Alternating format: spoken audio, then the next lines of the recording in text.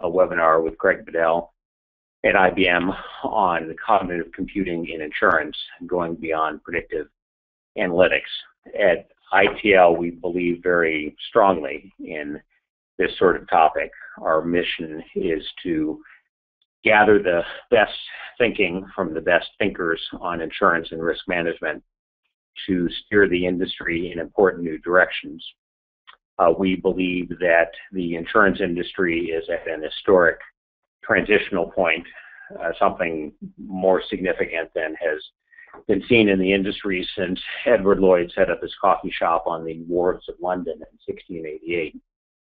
Um, I, I, also believe very strongly in this from a, a, personal standpoint, not just based on what I've seen in insurance, but based on my career. I spent, among other things, 17 years as a reporter and editor at the Wall Street Journal, largely covering technology. So I've been following technology very closely since I started on the computer beat, and mostly covering IBM, in fact, in 1986. And I've seen the effects of technology ripple outward uh, through the computer industry and then into uh, all sorts of related industries. And it has seemed to me for a while that insurance is one of the last three or four holdouts, and it's finally time. So, uh, as you might imagine, given that sort of focus, we have done a lot on, in particular, predictive analytics, which is such an important force in the industry. And now it's becoming clear that, uh, largely through the efforts of our friends at IBM, the world is moving beyond mere predictive analytics and into what they're calling cognitive computing. The notion being that you can go well beyond these sorts of um, highly organized databases that people have been building for years or even decades and can get at unstructured information, the notes that people take, the interactions on social media, sensors, uh, and so forth. So, uh, and once you do that, then you can do all kinds of things in terms of, pricing and interaction with customers and so forth that you couldn't do previously. So I'm delighted that uh, Craig is able to, to join us here today. He will, I'm sure, tell you a little bit more about himself as he goes through his presentation. But the basics are that he has spent 31 years in the uh, insurance business with a broad range of responsibilities in underwriting, sales, marketing, and field management. He has also spent 11 years on the software solutions side of the business. Uh, his title is Global Industry Executive of Insurance Solutions, He's also a member of IBM's Industry Academy, a thought leadership group that is gaining importance within IBM. Um, he'll go through his uh, presentation now. Uh, it'll take about 35 minutes or so. At the end of that, we will have a, a Q&A session. Please go to the panel on the right and send me questions as they occur to you as we go through. Uh, we'll get to those at the end.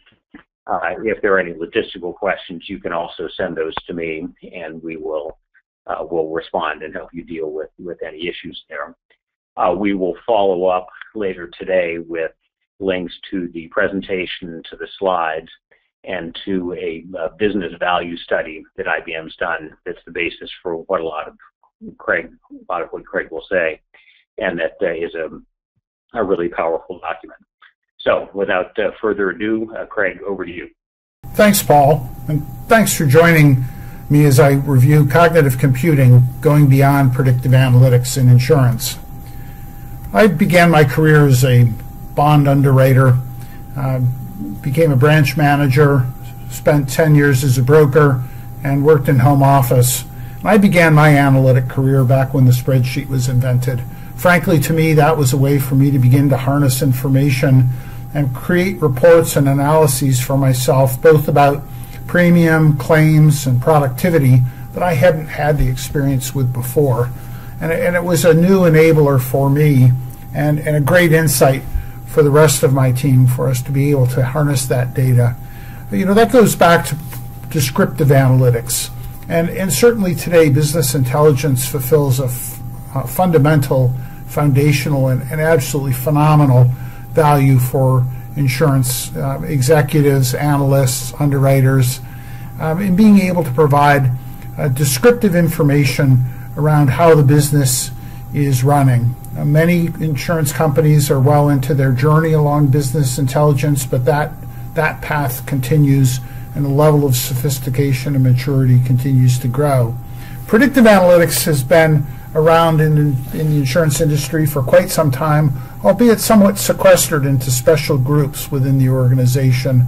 And over the past four or five years, arguably, there's been a democratization of predictive analytics. It's come out of those corners. It's being used more uh, than ever for determining statistically significant correlations to get insight around claims uh, severity, um, underwriting, uh, um, uh, scoring, uh, productivity by producers, um, all sorts of various insights. And, and that too has been, been a journey that insurance companies have been um, on.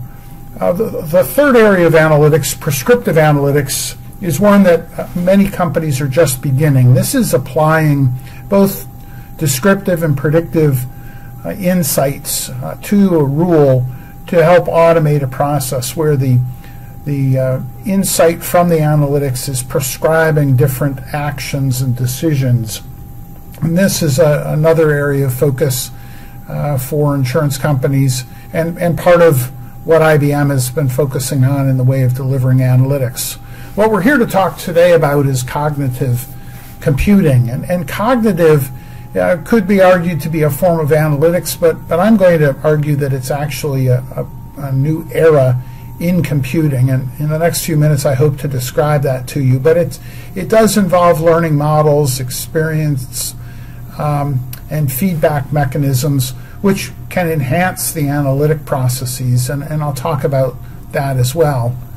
But, but cognitive is, in my opinion, a new competitive advantage for the insurance industry. And I, I hope to illustrate um, and support my argument in the, the next few minutes as we go through the presentation. But, but before I begin, uh, let me explain what, what we mean by cognitive computing.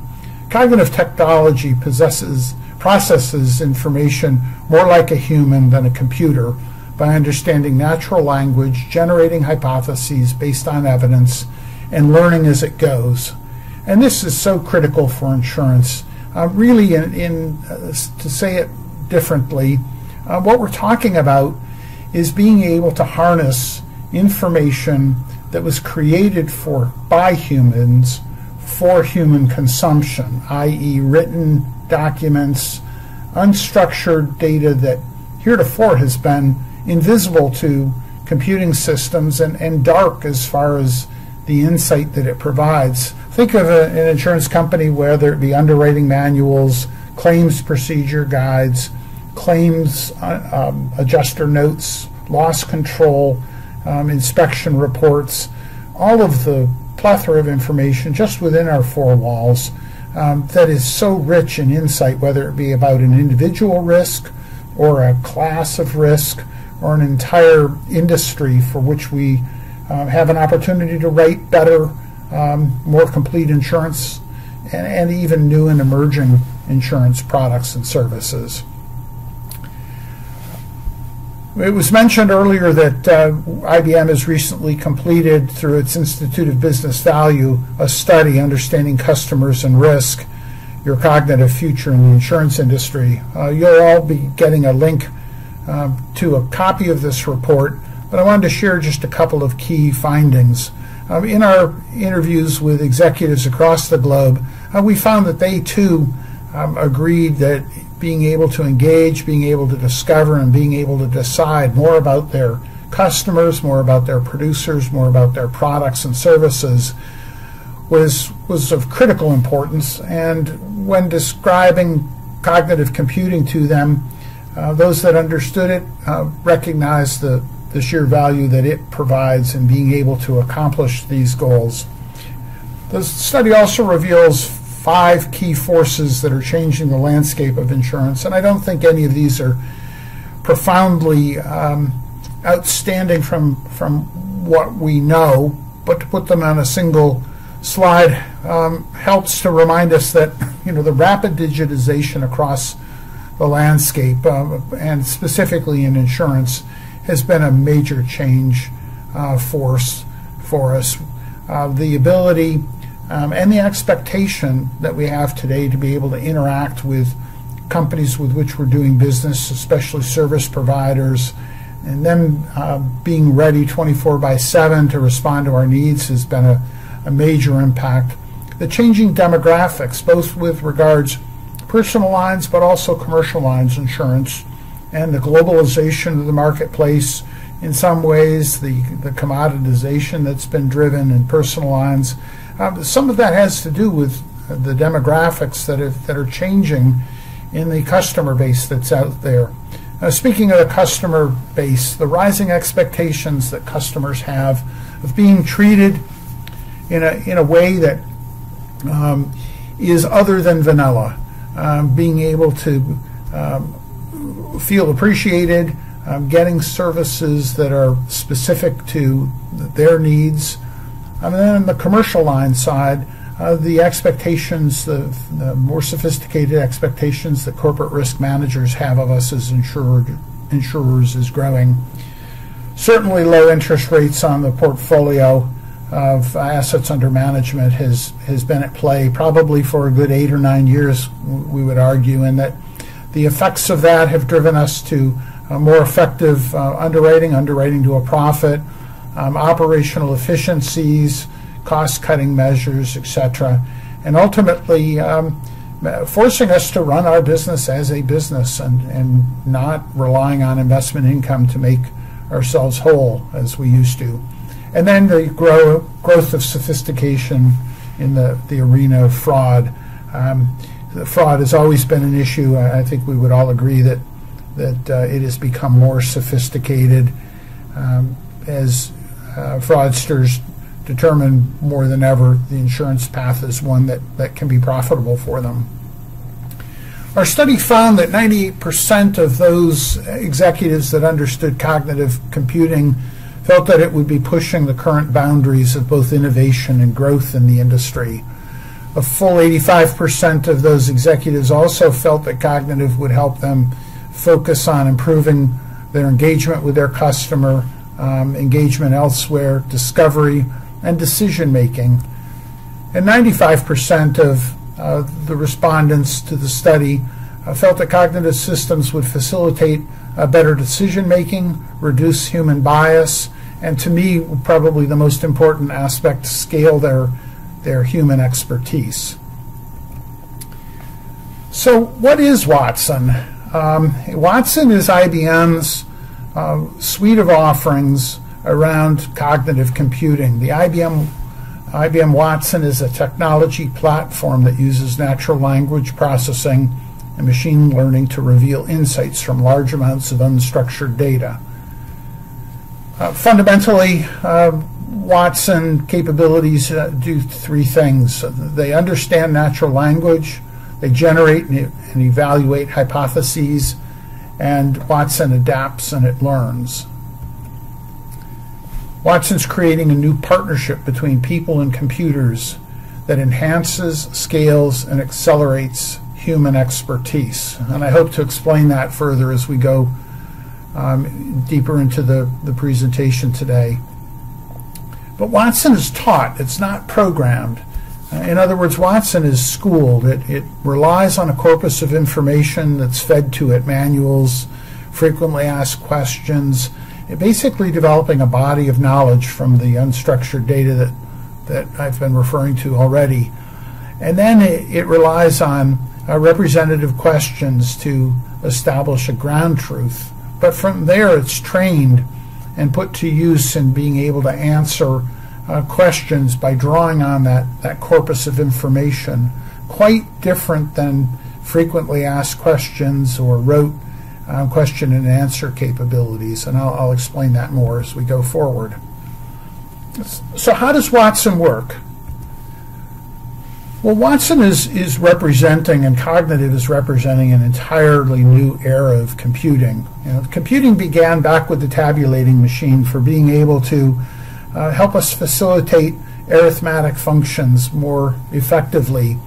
Then came, along came programmable computing, uh, conventional um, computing uh, was done via um, mathematical principles. It was programmed on rules and um, intended to uh, derive uh, mathematical uh, answers uh, from from the code that was in there. Um, it was it was also um, designed to follow a very linear decision tree type of um, um, approach to providing insights. And this, this approach had worked well for the, the basic kinds of questions that we um, asked of our systems and were expecting to, to be answered. But the, with the substantial growth of big data, the need for more sophisticated evidence-based decision making, uh, these legacy systems simply couldn't uh, keep up with both the, the generation of the data um, and the ability to um, to make sense of what heretofore had been uh, dark data, the unstructured data. Um, as professionals, we're all looking to make better insight um, and better decisions uh, from the insight that these various and sundry sources of data uh, provide to us. And, and Watson, in many ways, mimics that, that capability. Um, it is able to mirror the as aspects of the human decision making process, of which there are basically uh, four steps in, that we undertake as, as humans when we're making a decision. The first is that we observe um, visible phenomenon and bodies of evidence. Then, with that, we, we uh, attempt to interpret what that information is telling us. We derive if you will, uh, a hypotheses from that information. And we evaluate those hypotheses as to which are, are the most appropriate for um, the situation at hand. And based on that hy hypotheses, we weigh them and, and pick the one that fits best. And with that, we make a decision and we take an action. This is not at all unlike what Watson does. In fact, these same four aspects of decision making are core to the, the Watson uh, capabilities. So, how does Watson work? Um, if we look at traditional computing systems, we were limited to structured data, data that had been uh, put into a database uh, for which specific code had been written to um, measure and apply arithmetic equations to that information to draw a conclusion. That doesn't describe us as individuals, doesn't describe well our current business situations, nor the types of decisions we need to make. There's so much more information that's out and about um, to uh, provide more robust insight in the decision making process, whether that be unstructured data that's in manuals, that's in scripts, that's in blogs, web postings, um, annual reports, um, claims reports, underwriter notes, etc. Being able to harvest this type of information is, is critically valuable in the making a more, more robust decision in insurance. And so what Watson does is it relies on natural language, um, which is governed by rules of grammar, context and culture, and its um, ability to be able to uh, decipher these words and, and, and turn them into meaning is the the critical differentiator between Watson and say, for instance, um, text analytics uh, that that are involved in, say, a search engine capability.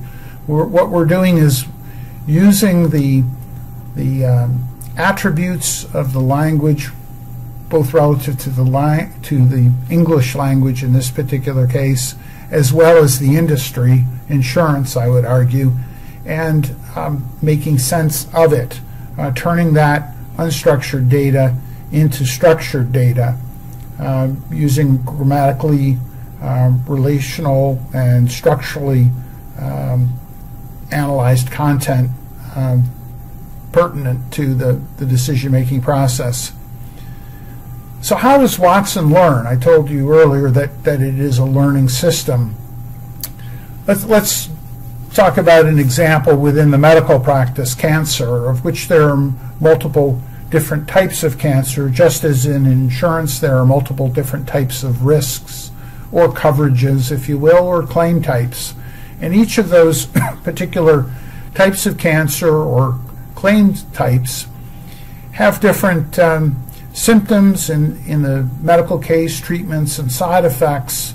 In um, insurance, there are different procedures, different outcomes, different uh, rules and different regulations that apply, all of which need to be taken into consideration um, for, uh, uh, for our analysis. Additionally, that insight in medicine comes from uh, both the um, historical journals that we have, newly published studies, white papers, all sorts of publications that are out there. The same is true in insurance, both our historical documentation, new documentation and insight that comes in relative to a particular account, particular claim, but also trending information that comes both from the financial community as well as other, say, annual reports and in the commercial line space, um, insights from social media about um, the, demographics of our personal line space, uh, and new risks, new and emerging risks that come from legislature and um, and experience that, that we read about um, in the in the trades. All of that information is, is fodder, if you will, for the base uh, pool of, of information from which Watson will begin to draw its insight. That information is gathered and collected and, and becomes what we refer to as the corpus, corpus upon which Watson draws its insights. And, and by being able to um, analyze that information and begin to score it, the process of um, informing Watson begins. But it takes a, an analyst, it takes an expert to also go through that information and determine what's not reliable, what might be out of date, what isn't respected in sight, and to, to parse that from the corpus. Uh, this is referred to as curating the content. Once the content has been curated, Watson can go to work at being able to ingest that information by developing metadata, by developing indices. It's able to organize the information to expedite um, its application to uh, the question and answer process, to the insight process, and, and develop scores, which we'll talk about in a second. The next step is, is beginning to train Watson. An expert, again, will take his or her expertise relative to a subject and begin to apply that uh, to the process. This is referred to as machine learning. That expert will create a base set of questions and answers that um, serve as a ground truth for for Watson. This isn't a, a canned Q&A akin to a frequently asked question um, type of approach, but rather to give context for Watson for the terminology, for the jargon, for the various phrases and their meaning relative to, in, in our case, insurance, so that it, it can fine tune its understanding and interpretation of the corpus then Watson goes to work, and from that basis is able to then begin to generate um, new answers to new questions and, and begin its interaction with users. As it begins and to uh, engage with, with users, it grows its um, ability to answer more questions and, and in more robust ways. It's also ingesting new data um, as it's updated, um, as it's published, as it becomes available to be ingested into the system. And along the way, an, an expert will periodically review um, Watson's learning to fine tune it and feed those fine tunings back into the system. So we're talking about a continuous improvement process to make Watson smarter and more robust in its ability to address um, expected, but more importantly, unexpected questions. And the, the longer the system is, is operating, uh, the deeper Watson's knowledge base um, uh, becomes. So, how does Watson build and enhance expertise, which to me is, is the most interesting aspect of this. The same approach that, that I've been describing, being able to understand what the written word has um, was intended to interpret, um, is what Watson goes about doing first. And, and to do this, it develops various hypotheses as to what that meaning is, and then it it scores and ranks those hypotheses based on its confidence level. From those confidence levels, it can then begin to draw a, an answer to a particular question. Additionally, it can connect answers to various from various questions and sources to provide additional insight that we may not have had before. And, and I'll touch on that on this in a little bit greater detail in a minute.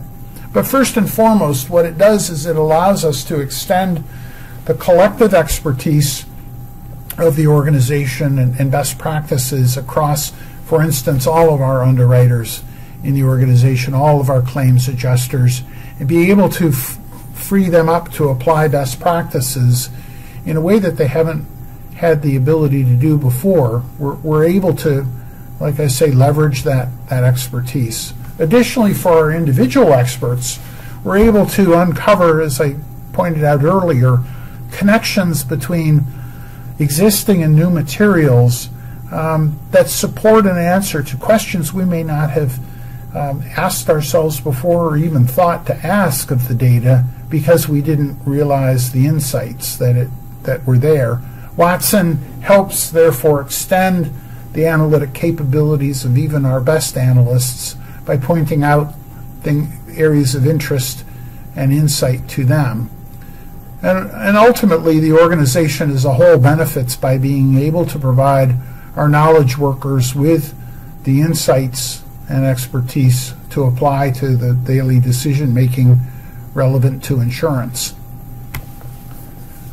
So, what makes Watson different? Well, Watson understands language, it understands what is being asked, and it's able to find and communicate answers.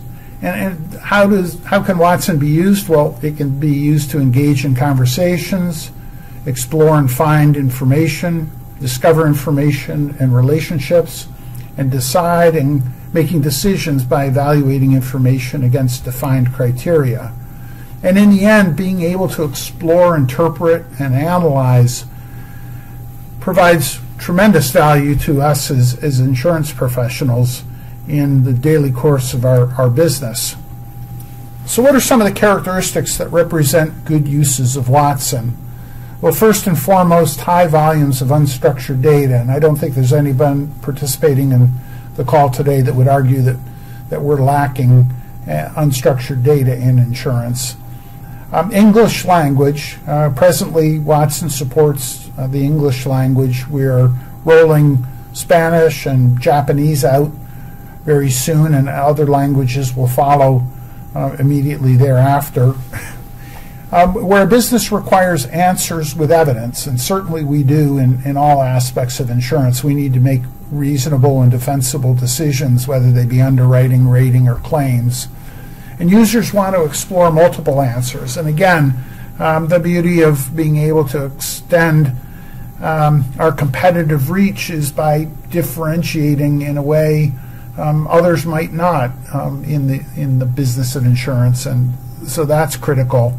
Being able to support dialogue when appropriate, and, and that too is a um, an important attribute, and we'll talk about customer self service in a second and then to be able to continuously learn. And, and we know, especially now, just how dramatically uh, the insurance industry is changing and the risks around us are um, expanding and, and, maturing. So, critical, important at, uh, as far as an attribute in insurance. So, let's peel the onion back a little bit and talk more about cognitive in insurance. Um, in addition to Watson being a platform of services, uh, IBM, through its Watson division, is also building out different industry specific solutions. One of the first is Watson Underwriting Advisor, which enables underwriters to operate more effectively. And uh, basically what we're, we're able to do is read and understand natural language contained within unstructured documents, continuously learn based on feedback, and create comprehensive evaluation process um, to uh, collect, integrate, and visualize and evaluate risk. At the end of the day, what this is this um, application of cognitive computing is able to do is, is help the underwriter assess a risk, apply best practice underwriting rules, and help him or her make more effective decisions relative to the risk. The benefits of Watson Underwriting Advisor include evaluating the submission rather than gathering data. So uh, an underwriter is free to apply his or her intellect to the, the risk as opposed to spending their time collecting the data and uh, not ha- being able to imaginate um, and apply their, their unique insight um, to the particular risk. It reduces time to process each submission. There, there's obviously a direct impact on the reduction of the underwriting expense. The incorporation of best practice expertise uh, for consistency and accuracy and we're able to scale our underwriting staff by, by making the underwriting process more compact. Um, we're, we're obviously able to um, increase the workload and the throughput. A quick view of um, transforming the underwriting process with, with the um, Watson um, underwriting solution, both in the review of the application completeness, the review and um, applying review and application of underwriting guidance, and then the recommendations to the underwriter for his or her decision making. There are Watson attributes that play into this, and um, the cognitive underwriting is supported by, as you can see, uh, example customer data as well as, as Watson data drawn from public sources and others. An example that comes first from our banking and, and, specifically our investment banking brethren within IBM is Watson Wealth Advisor. So currently today there are a number of investment bankers that are using Watson to help their wealth managers uh, first understand the risk appetite of their client um, and then the risks of different um, issues and being able to um, uh, coach and consult with their client to to uh, really put together a portfolio and a program that best meets their particular investment guidelines, appetite, and risk um, uh, demographics. Um, imagine, if you will, that uh, a um, an annuity underwriter, an annuity um, specialist is able to take this same approach and, and um, his or her relationship with their clients. Um, another example would be the controller or the Office of Finance being able to do a similar analysis around the portfolio risk for their assets under management. But this is catching the attention, as, as I said earlier, especially in life and annuity. A clear low-hanging fruit opportunity is, is the virtual CSR or the self-service call center capability, being able to extend expert personalized advice, strengthening relationships through better customer advice and information sharing, increasing revenue through better informed next best action, cross-sell and upsell, and improved operational efficiency. Companies like USAA, who experimented early with this capability, um, albeit not specific to their uh, policy, but rather to their customers' lifestyles.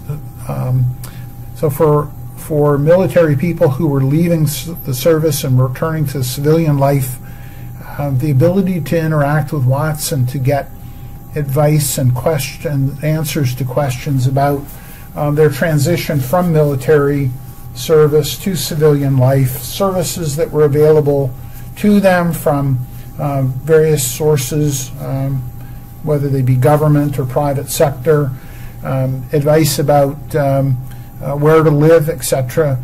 Uh, these were these were the types of questions that that um, Watson was set about to help um, them answer. But think about being able to extend um, advice to a, a customer and insured when when they have a life chain life event occurring. Uh, they may be leaving an apartment and uh, buying a house and, and, have some questions. Uh, this gets to a, a, a, fundamental point that we found across industry.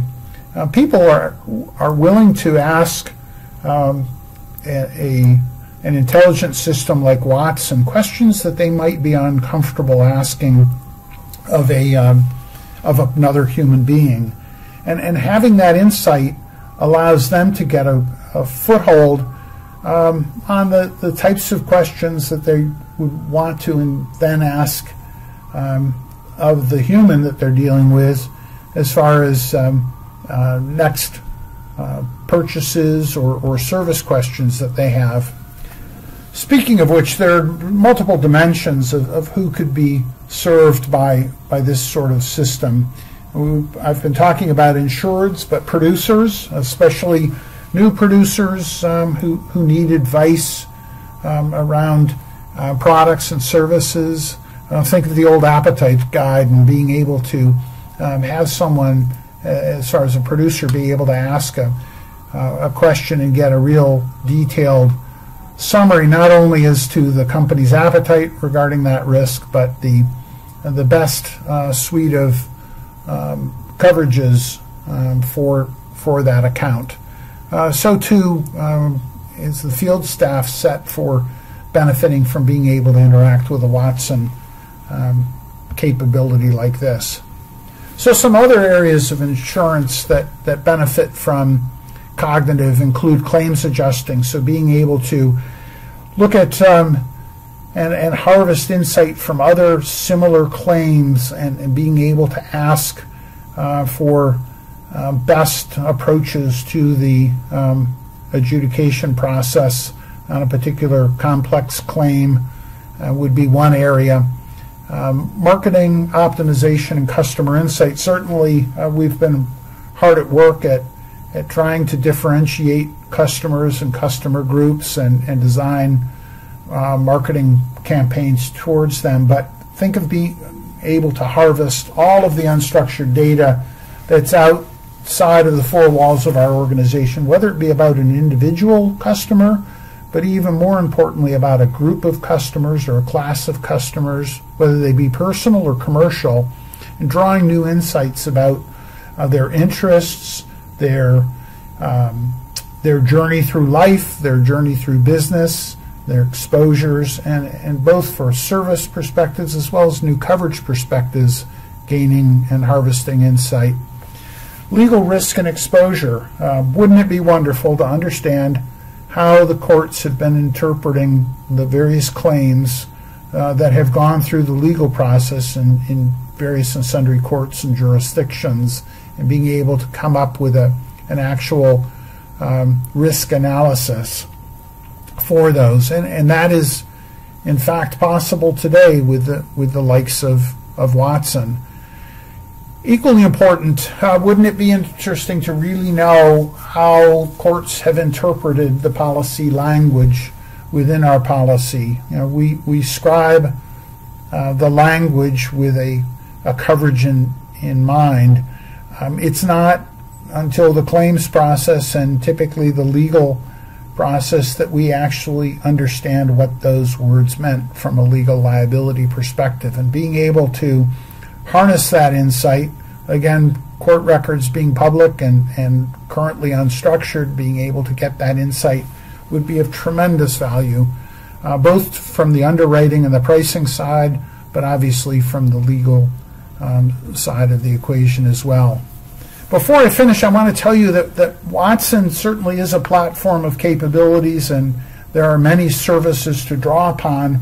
We at IBM are drawing upon those services as well to mix those back into our portfolio. We talked about the value of business intelligence a little bit earlier. We have woven cognitive computing into the into our business intelligence uh, package, uh, IBM Watson Analytics for Insurance uh, embraces these same sorts of capabilities to be able to cull through both the structured and the unstructured data um, to suggest back to the user questions that they could be asking of their data that they may not have thought of. In other words, how can I better understand my policyholders to improve retention? That may be a question I want to ask of that data, but Watson knows from being able to analyze the information that it has at its avail through the BI system that it can answer that particular question, so it poses it to the user.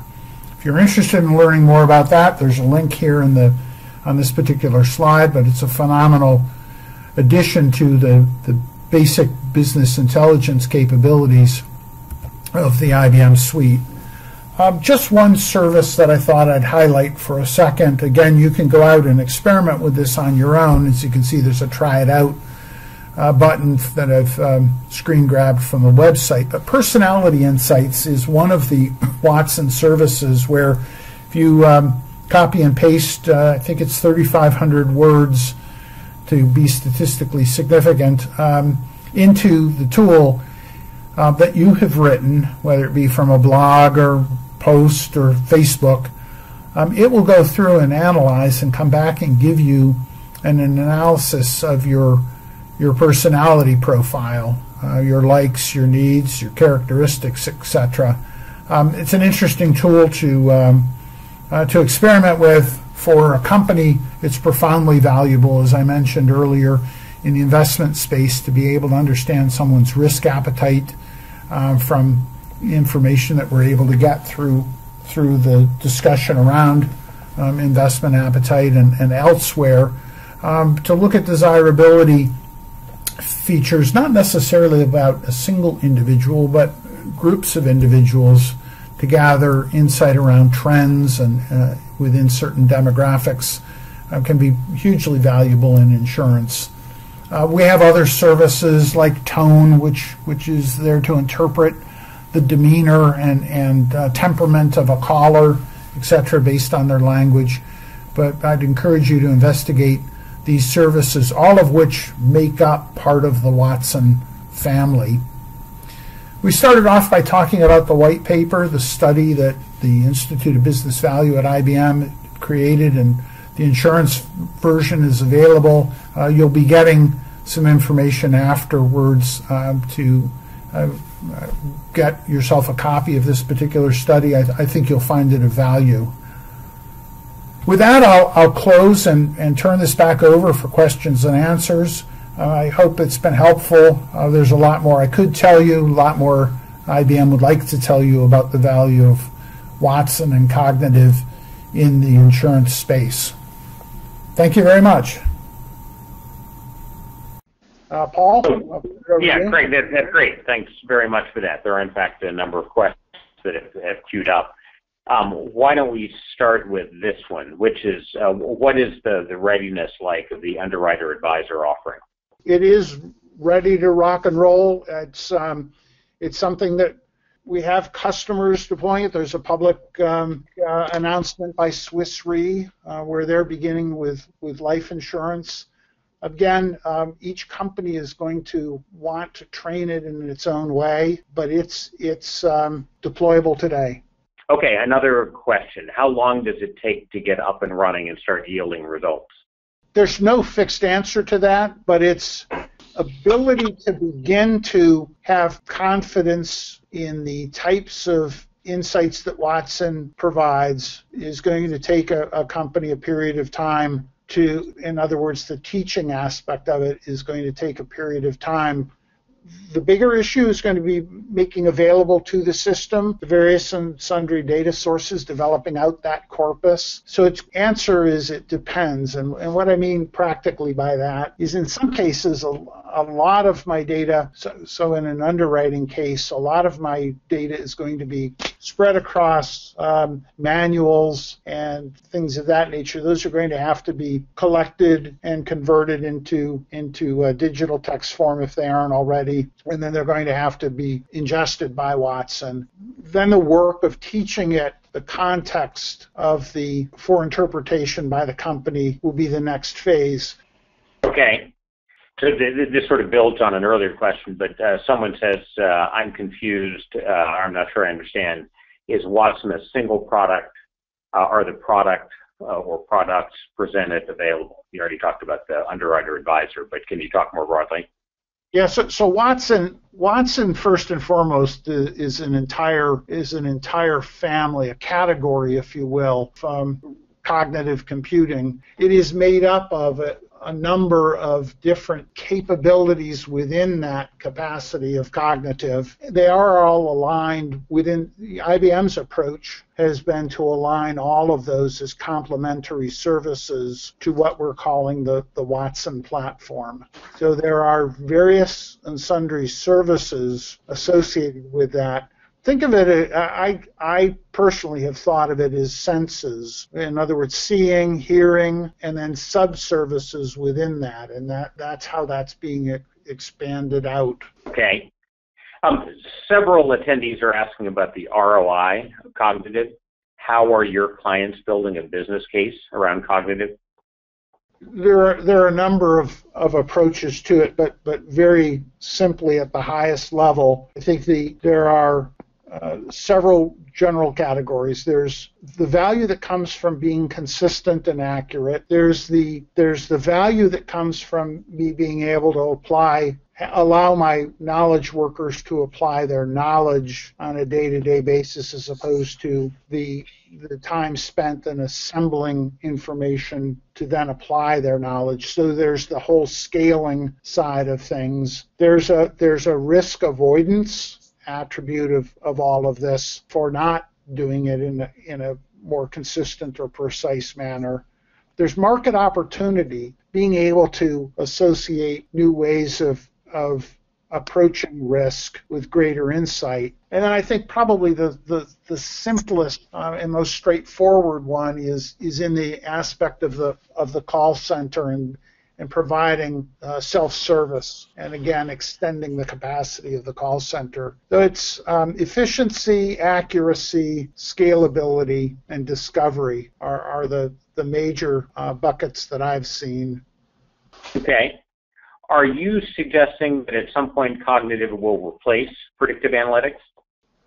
Predictive analytics it, is, it can certainly be used in the process of, of cognitive. So to differentiate the two, and I say this passionately, predictive is is um, is looking for statistical significance in structured data that I have. So what is what is the the correlation? The what is the coefficient? What what what is my structured data telling me? And it's very you know mathematically inclined. The cognitive at the end of the day is really turning what heretofore has been uncaptured dark data, the unstructured data, into structured. Once structured, uh, there will be some aspects of that data that I will now want to apply predictive analytics to. So I see them as being complementary. I see cognitive driving further utilization of statistical analysis. Okay. So someone is, is, is saying, I'll, I'll just read the, the question. Adjuster notes in bulk are written hastily by many different people with ambiguous context and very different writing styles, often using confusing and inconsistent grammar, spelling, punctuation, abbreviations, and acronyms some of which are so used so infrequently that there are no precedents from which to learn. How can companies best organize internally to engage with cognitive technologies? What resources need to be dedicated to be successful? So that was either one of my colleagues who pre-scripted that, or, or, or, or it was a very astute listener, and I thank either of them. So the, the short answer to that is if, if anybody saw Watson uh, compete in Jeopardy, you quickly realize that it was able to tackle the various linguistic tricks that are that make the Jeopardy television show exciting, um, at least to us Americans who, who watch it. But the what the, what I'm saying to someone who may not be familiar with uh, the television show Jeopardy, it it exercises um, as much knowledge as it does one's ability to understand the English language. So the science behind making that possible begins to address one half of the, one third of the question that was just asked. The other the other part of it, and well, two parts: the the subtlety of of the English language, and then it it being written differently by different people, and then the aspect of the the peculiarities of a of an industry or an individual are aspects of, of how we teach it.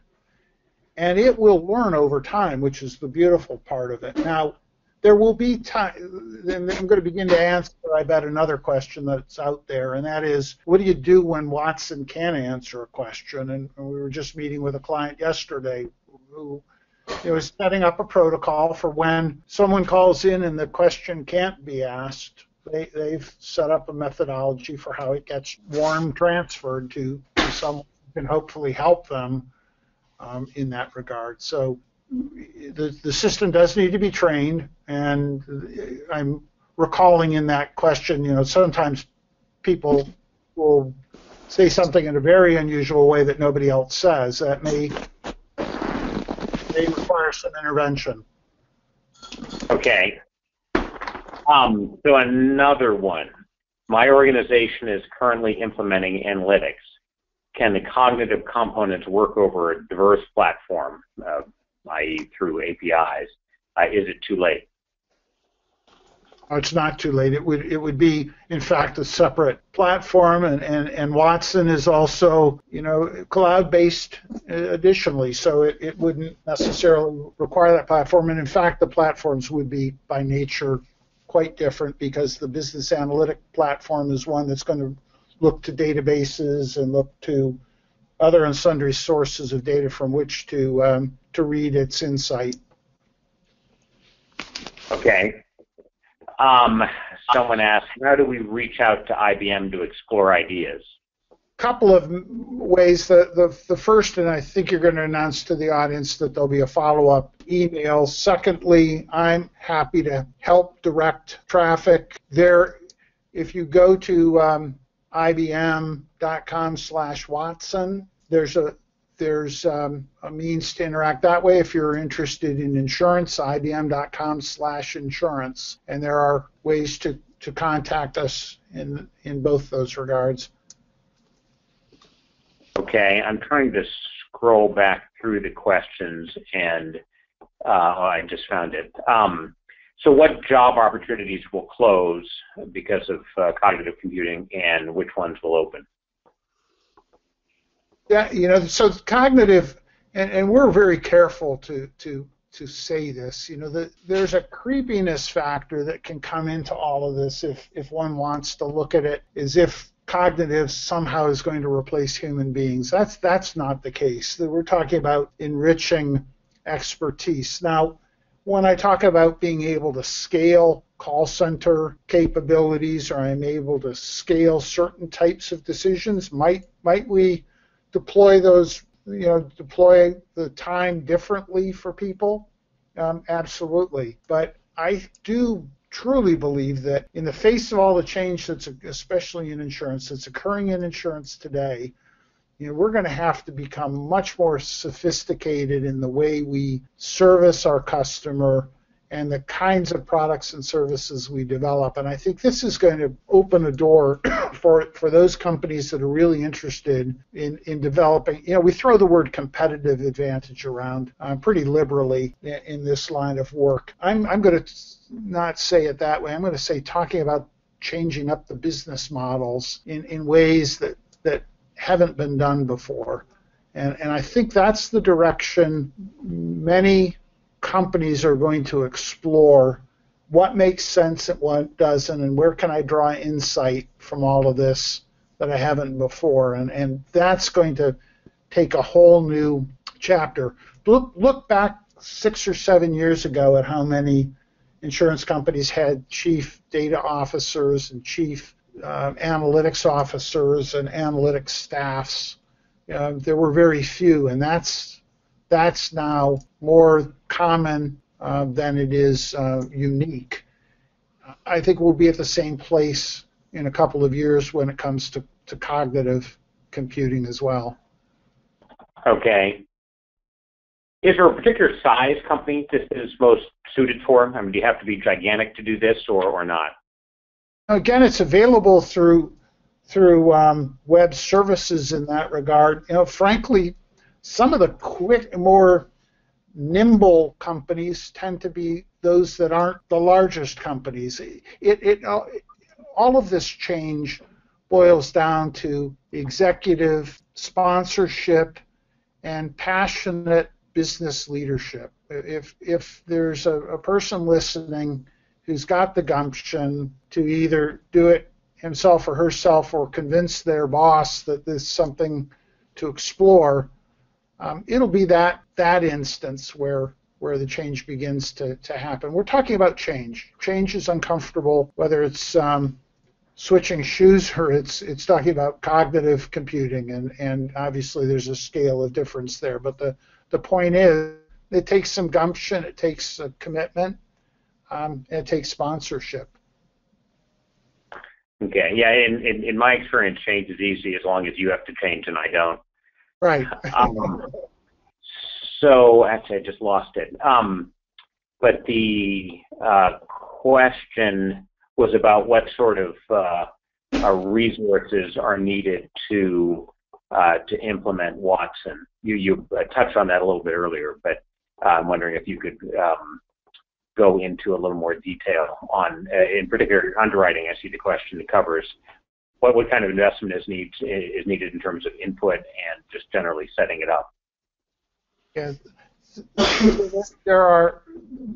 I I have colleagues who have firsthand experience that that would um, be able to provide um, much level, much greater levels of detail around this. The, the types, and we have services that we're happy to provide um, our clients and, and in partnership.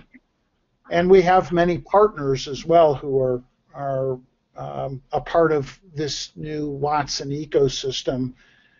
To answer the question, it again, it's going to depend on the the scale of the project. That the, it's definitely going to involve business experts uh, first and foremost. It's going to in, involve their technical brethren for making the services available, and um, and to some degree, for sure, it's going to to involve you know IBM Watson specialists. That that's that question hasn't an easy answer because of, of the scale, the, the, the varied scale that any of these projects could could represent. Okay. Um, so maybe one or two more because we're getting to the end of, of, the hour, and I want to respect everybody's time.